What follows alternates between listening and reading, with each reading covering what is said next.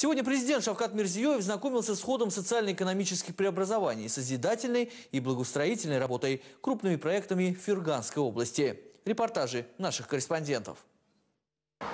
Звучит Фергана, и мы сразу представляем себе древние города, такие как Маргелан, Какант, Кува, олицетворяющие собой великую цивилизацию и культуру мыслителей средних веков. Представляем мы современность ее высоким ритмом жизни, многоэтажками и объектами инфраструктуры, за которыми высокий экономический и социальный потенциал. Но одно неизменно. Здесь живут трудолюбивые люди, знающие, что от каждого требуется крупица усилий, чтобы повседневность целой страны наполнилась звучанием благополучия. Заметьте, насколько, назовем его девиз, созвучен акцентом реформы преобразований, проводимых в стране, где каждая идея, инициатива, каждый проект имеет четкую цель – создать условия, сделать жизнь человека лучше. Сегодня президент Шавкат Мирзиеев прибыл в Ферганскую область. Рабочая поездка главы государства началась отсюда. Улица Урманчеляр. Первый объект – Ферганский производственный учебный центр пчеловодства. Открылся он год назад. Особая потребность была. Десятки тысяч пасек областных субъектов нуждались в консультации во внедрении современных методик и технологий разведения пчел. Шавкат Мерзиев лично ознакомился с деятельностью учебного заведения. За этот год, подготавливая учащихся по пяти направлениям, оно выпустило 600 готовых специалистов. Тренинговые залы, специализированная библиотека, цеха по переработке и упаковке меда, а также по производству оборудования и пчелиных ульев. Есть и лаборатория племенного пчеловодства, почти почти 2 гектара экспериментального сада и посевных площадей, предназначенных для выращивания медоносных растений. С учетом опыта необходимо осуществлять здесь обучение. Во-вторых, необходимо постановление Кабинета министров по развитию пчеловодства Ферганской области. Также нужно организовать работу на основе лизинга, причем таким образом, чтобы люди рассчитывались с продукцией. Вот тогда она будет оставаться и у них, и у государства. Возможности для этого в Фергане есть. Пастбище есть, хлопок есть, пшеница есть. Много здесь плодов и овощей. Будем изучать американский опыт. Создадим совместное предприятие в Фергане. Вы сделали хороший проект. Большое вам спасибо.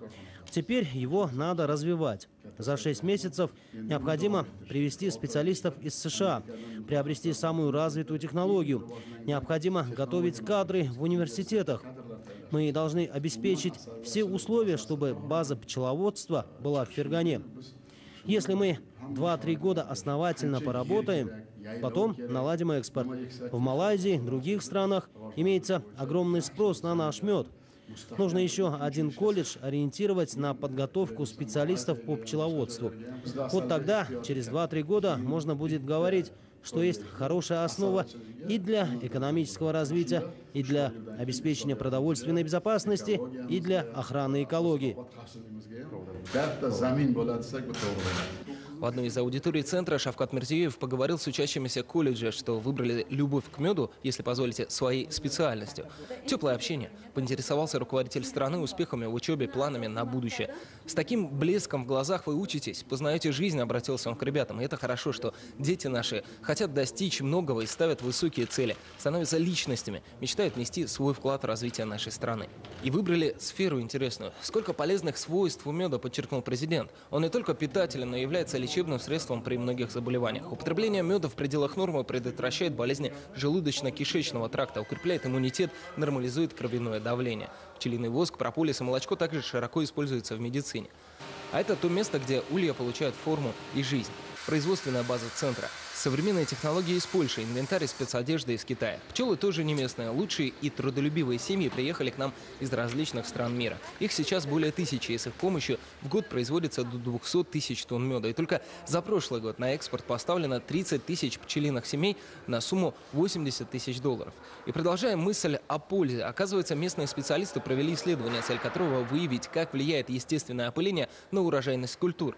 Выводы удивительные. Представьте, если три улья оставить во фруктовом саду и дать пчелам делать свое дело, то после можно будет собрать урожай на 20% больше. И это самый минимум. Самое меньшее влияние оказало на персик. Это на 20% увеличение. На интенсивных э, яблонях увеличение оказалось э, на 320% увеличение, 320 раз. На персике в 6 раз. На персике мы производили производственный опыт, то есть на одном гектаре в 2010 году, если было получен урожай 480 килограммов сушеного абрикоса, это субхона сорта, то в 2011 году после постановки в сад 10 ульев с 20 семьями э, получили, фермер получил урожай 2100 килограмм. То есть примерно на 10 миллионов пчелы увеличили урожайность только за счет опыления. Э, Еще больше влияние оказывают пчелы на сливу, на увеличение урожайности сливы, на э, миндаль и на черешню. Аналогичный эксперимент был проведен и с различными сортами хлопчатника. Количество коробочек увеличилось на 43%. Осыпь цветков уменьшилась на 87%. А э, масса одной коробочки хлопка увеличилась на практически на 13%. То есть наши исследования показали, что опыление пчелами хлопчатников помогает увеличить урожайность более чем на 50%. Что это значит? Допустим, урожайность вырастет даже не на 50%, а на 10 всего. То с гектара это прибавка в 3 центнера хлопка. Следовательно, если в Ферганской области трудолюбивые пчелы опылят 100 тысяч гектаров, то это дополнительно 300 тысяч центнеров хлопчатника. Так сказать, бесплатный бонус к тем килограммам меда, что произведут сами пчелы. Солидно, правда?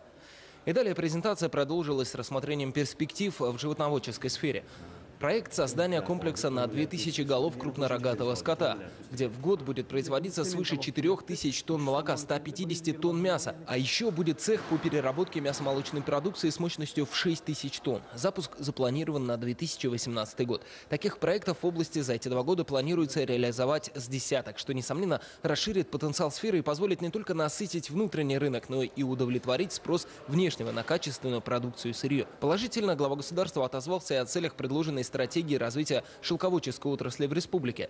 30 перерабатывающих предприятий по стране будут модернизированы, равно как и 18 занимающихся селекцией шелкопряда. Нужно сеять большими плантациями. Ведь листья – это сырье. Урожай коконов шелкопряда мы уже собрали. Теперь, как мы будем перерабатывать? Какие технологии нужны для производства самой конкурентоспособной продукции? Что нужно для этого? Какие необходимы таможенные условия? Сколько кредитов сколько валюты нужно дать. По республике нужно организовать 10-15 плантаций, определить районы наиболее подходящие с точки зрения географии и климата. За 10-15 дней нужно принять постановление. Также необходимо организовать научное учреждение на базе Узбек Енгельсанаот и Ассоциации Узбек Ипаге. В самом Маргелане мы должны создать и плантации, и полностью переориентировать один колледж под шелководство. Нужны преференции, чтобы люди были экономически заинтересованы. Тогда и результат будет солидным. Потом и опыт появится. Одна такая плантация может обеспечить работой 2000 человек в течение всего года. Возьмите Китай, Корею или Вьетнам. У них на плантациях круглый год трудится 2000 человек. Урожай получают три раза. Последний посев осуществляется под пленку. Почему? Потому что есть спрос на продукцию. bizga yana nima kerak bu? Откроется один технопарк и шесть предприятий полного цикла. Общая сумма превышает 180 миллионов долларов. На первом этапе будет установлено лучшее оборудование. На втором специалистам сферы предстоит повысить квалификацию, в том числе и за рубежом. Последний этап – внедрение ИКТ новшеств и запуск по единой системе с мониторингом качества продукции. Таким образом, планируется, что строка регионального экспорта достигнет 31,5 миллиона долларов, то есть практически в 3,5 раза больше, чем сейчас. Зачем ждать несколько лет, спросил президент. Этапы запускать можно параллельно во всех регионах, определить лучшие для реализации географические и климатические условия, а технологии выбирать только современные. В целом, отметил Шавкат Мерзиев, нужно разработать целую систему поддержки пчеловодства и шелководства. Немаловажным звеном в цепочке последовательной ее реализации должна стать грамотная подготовка кадров, и условия нужны, чтобы иностранные инвесторы участвовали в реализации программы. При разговоре об условиях главы государства рассказали об инициативе китайских партнеров. Речь идет о создании шелководческого предприятия в Кашкадаре. Такое решение они приняли после визита главы нашего государства в КНР. Более того, указы, постановления, инициативы руководителя страны привлекают внимание не только иностранцев, но и соотечественников, некогда уехавших из Узбекистана. Если вы были в Англии, то подобный деловой климат, как там, постепенно формируется в Узбекистане. Принята стратегия действий, постановления. Вы видите монетарную политику. Если в предпринимательстве нет экономической выгоды, то им не стоит заниматься. Таково время. Когда меняется мировоззрение? Тогда, когда есть экономическая заинтересованность, есть результат. С этой точки зрения, те, кто сегодня к нам приходят, завтра об этом не пожалеют. Чем вам помочь? Чем еще заверить вас? За все вам спасибо. Сейчас у меня есть все условия. Вот вчера у нас полностью преобразована деятельность торгово-промышленной палаты. Ей даны большие полномочия. Ни одно решение отныне не будет приниматься без участия торгово-промышленной палаты. Что желает предприниматель? Сейчас в ТПП 107 специалистов. Они будут работать в областях. Вот как мы работаем с обращениями граждан в народных приемных президента, они также будут прислушиваться к мнению предпринимателей на местах. Я и раньше говорил, если один предприниматель будет кормить двух человек, я его буду на плечах носить. Мы создадим все условия.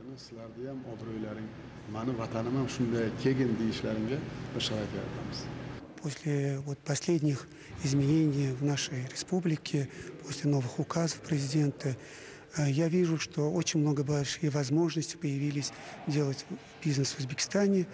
И мы с, этой, с, с этой, с этой причиной я решил инвестировать больше в узбекский рынок и делать новые бизнесы в Узбекистане.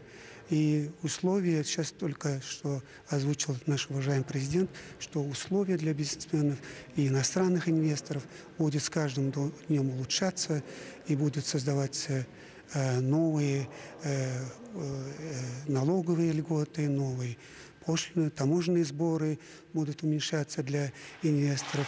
Это все привлекает на, э, иностранных инвесторов и начать новый бизнес в Узбекистане. Мы хотим создать бренд, отдельный бренд для того, чтобы продвигать этот бренд за рубежом, в Великобритании и других странах.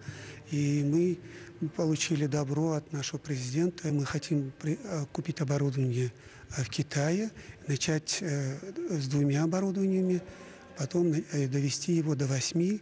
И примерно мы хотим инвестировать в течение четырех, четырех лет около 5 миллионов долларов Главное подходить к делу с четким пониманием перспектив, отметил руководитель страны. Какие векторы развития мы зададим сегодня, насколько точно продумаем каждый шаг, настолько большое развитие получит завтра и Ферганский регион, и вся страна.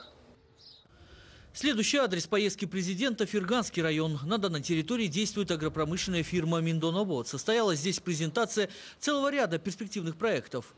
В планах ее специалистов довести в этом году площадь виноградников до 1000 гектаров, вырастить 15 тысяч тонн экологически чистой продукции и подготовить 450 тысяч саженцев данной агрокультуры.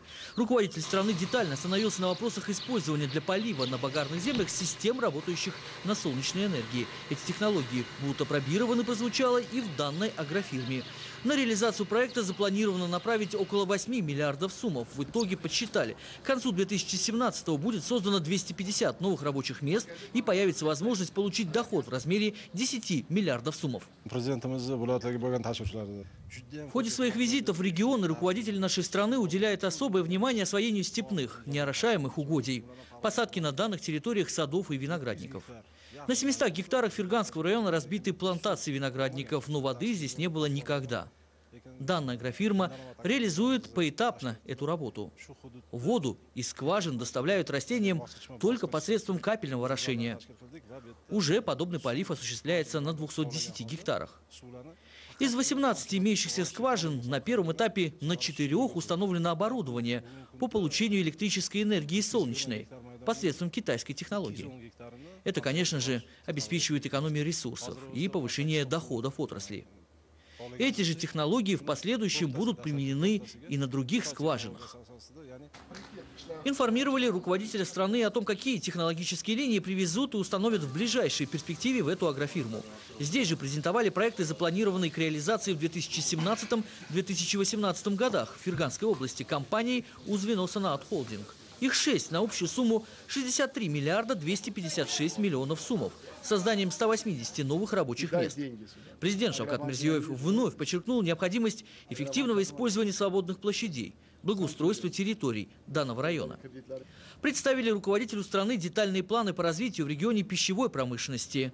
Так, в Кувинском районе ООО «Биг Агрологистик» приступит к сушке, упаковке, хранению, экспорту переработанной сельскохозяйственной продукции. Продумана здесь и организация специального центра логистики.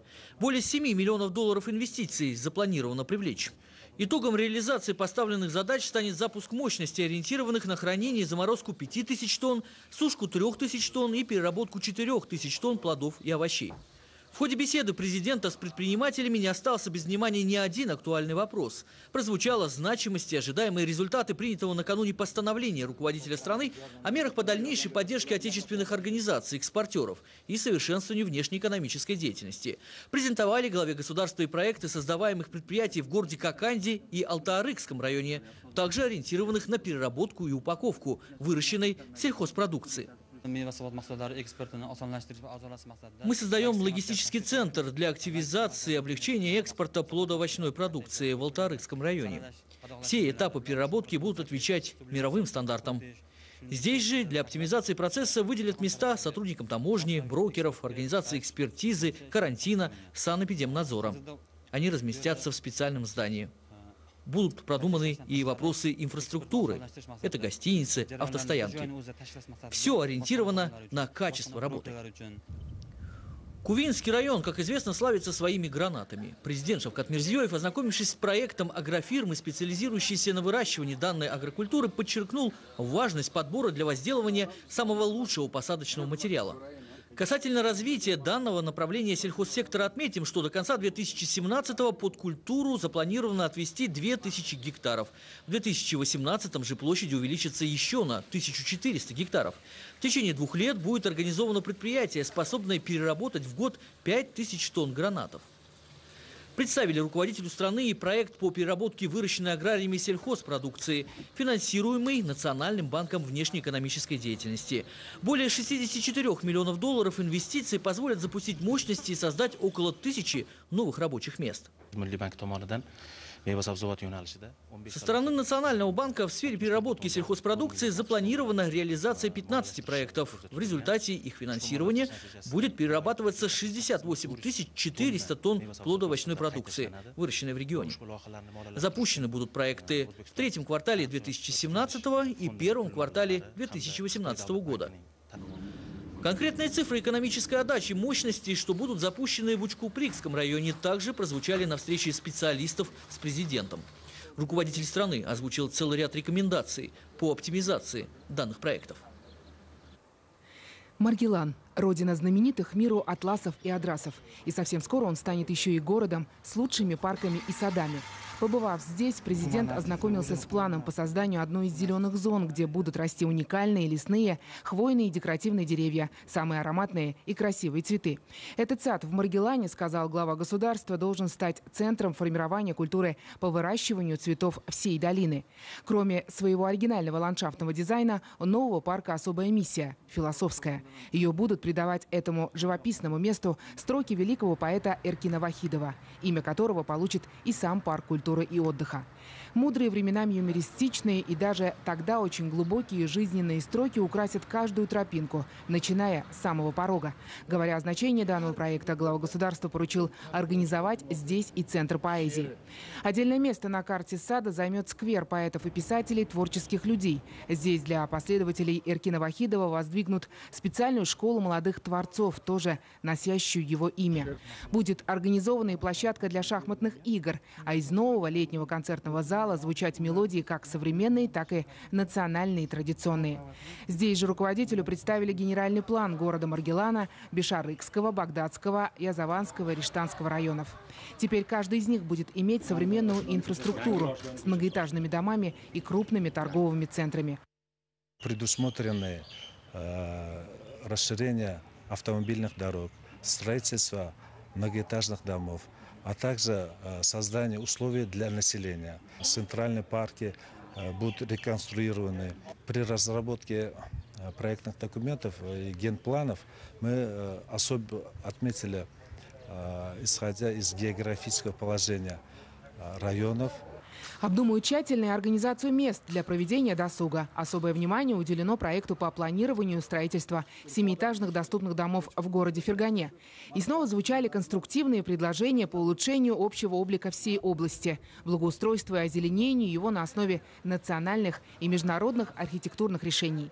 Шла речь о том, чтобы создать в самое ближайшее время в Маргелане центра ремесленников, который манил бы туристов из различных точек мира не только переливающимися всеми цветами радуги атласов и звонким звуком рештанского фарфора, а еще и самим уникальным процессом создания этих шедевров. Данный центр будет иметь и особую роль в плане трудоустройства населения, станет частью перспективных проектов в рамках программы социально-экономического развития региона и еще о туристическом. Маргелан, Фергану и Какан свяжут новые этнографические маршруты. Знакомясь с этим проектом, президент отметил, что продумать его нужно так, чтобы каждый километр пути восхищал гостей долины. Среди представленных презентаций и предложения финансовых учреждений. Среди них проект по развитию туризма в Маргелане, а также ряд других, связанных с деятельностью малых промышленных зон области. Из Маргелана руководитель страны отправился в Коканд по стальным магистралям железной дороги, оценил комфорт вагонов и скорость пути. На другом конце маршрута ждал Коканский вокзал, современный, реконструированный. Шавкат Мерзиеев отметил уют и технические новшества. Что важно, ведь вокзал и аэропорт – это лицо города. Они первые, почему дают оценку зарубежные гости, приезжая к нам. Итак, Кокант – промышленный район региона. В самом городе находится завод по производству газовых баллонов. С его деятельностью Шавкат Мирзиев ознакомился лично. Сейчас мощность 100 тысяч единиц баллонов в год. Помимо этого, здесь изготавливают 15 видов комплектующих. Необходимо наращивать динамику производства, подчеркнул руководитель страны. Сегодня отечественная продукция лишь на 20% удовлетворяет спрос внутреннего рынка. Стоит задуматься о расширении. Если необходимо, то работать в 2-3 смены. Важно в скорейшем времени продумать четкие шаги по увеличению производства, ведь в первую очередь потребность в газовых баллонах есть в удаленных уголках страны. Люди ждут. С позиции интересов граждан были рассмотрены и проекты в сфере развития ремесленничества, туризма, частных медицинских клиник, роста качества оказания ими услуг, в сфере ИКТ, легкой промышленности, производстве кожгалантерейной продукции. Целом, только в городе Коканде запланировано реализовать более 115 инвестиционных проектов, создать порядка 4000 рабочих мест. Говоря о высоком потенциале местных производителей, руководитель страны особо подчеркнул, что недоволен тем, как затягиваются сроки с разработкой проекта свободной экономической зоны Коканд. Требуется продумать дорожные коммуникации, логистику, инфраструктуру. Здесь есть все – и удобное географическое положение и условия, и желание производителей. Давно пора было начать, сказал Шавкат Мерзиев. Эта зона обеспечит работой сотни, тысячи граждан. Благодаря локализации сократит долю импорта и откроет новую страницу в экономическом развитии региона. Во всех своих рабочих поездках по стране президент всегда обращает внимание на такой важный момент, как создание условий для отдыха людей. И этот раз исключением не был. Шавкат Мерзиев посетил Каканский театр музыкальной драмы. В общении с актерами многое звучало об улучшении условий храма искусств. Для сотрудников к тому же построят семиэтажки, предоставят двух-трехкомнатные квартиры по льготным ценам. А еще на реконструкцию филиала Государственного литературного музея имени Гафура Гуляма выделят 5 миллиардов сумов. В Багдадском районе глава государства встретился с фермерами региона. Спрашивал о жизни на селе, как продается продукция, как быть, сколько прибыли. Сказал, что надо пользоваться тем, что нам дается свыше, то есть землей. Повторно сеять. Сейчас как раз пора, и на свободной земле необходимо высеивать картофель, сою, маш и другие культуры. А в эти минуты проходит заседание актива Ферганской области. Открытость, конструктивность, злободневность поднимаемых тем отличает эту встречу, когда не только озвучиваются проблемы, но и очерчиваются дорожные карты их решения. Все с ориентиром на интересы простых людей. Ведь так важно в наши дни, отметил глава государства, делать все для утверждения принципов социальной справедливости в обществе. Детально говорят на встрече с президентом и о новой системе работы с обращениями граждан. Особое внимание уделено вопросам формирования комфортных условий для жителей региона, ремонта коммуникационных сетей, благоустройства территорий, устранения препятствий на пути бизнес-деятельности. Тема открытого диалога – реформы в здравоохранении, в органах внутренних дел, в работе с молодежью. По этим и другим направлениям руководителям страны определяются задачи на перспективу. Поездка президента Шавката Мирзиёева в Ферганскую область продолжается.